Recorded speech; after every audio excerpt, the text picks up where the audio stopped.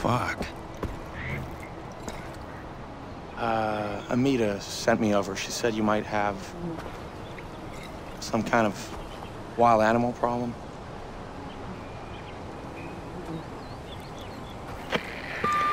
Hey, Amita, I have no idea what I'm supposed to do here. Wolves are a common nuisance for Canaan Farm. She's killed off a number of them, but this year they're especially aggressive, and I'm worried about her. There's a den nearby. Clear it out, huh? I think Kanan has supplies stockpiled somewhere on her farm that you can use. And Ajay, skin your kills. We can always use the pelts.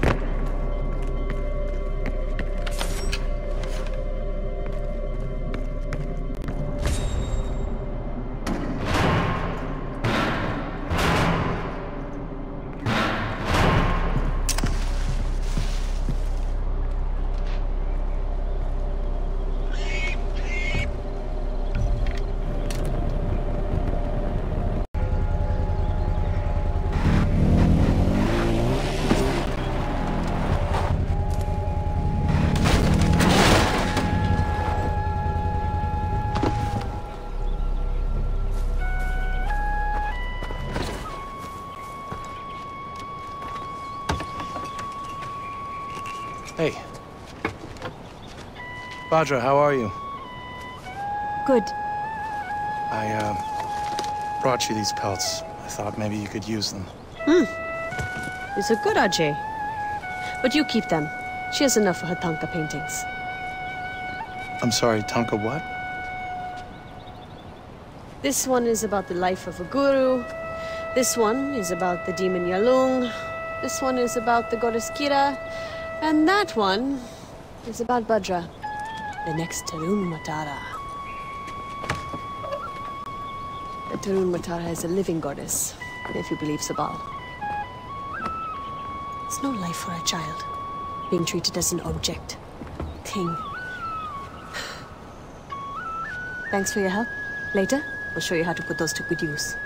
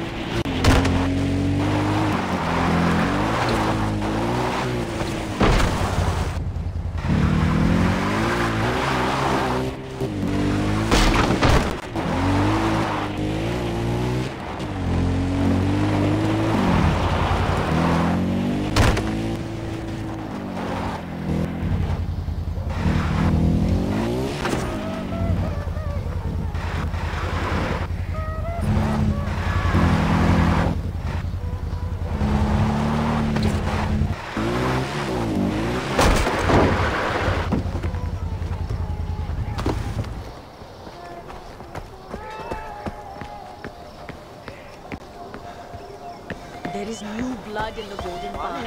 This is what it is today. You are leaving the mistakes of the past behind. Minka proyaska babuji pani. जीवन सुंदर था एकदम fix मुझे मेरा होना fix हो गया जब से मेरा मन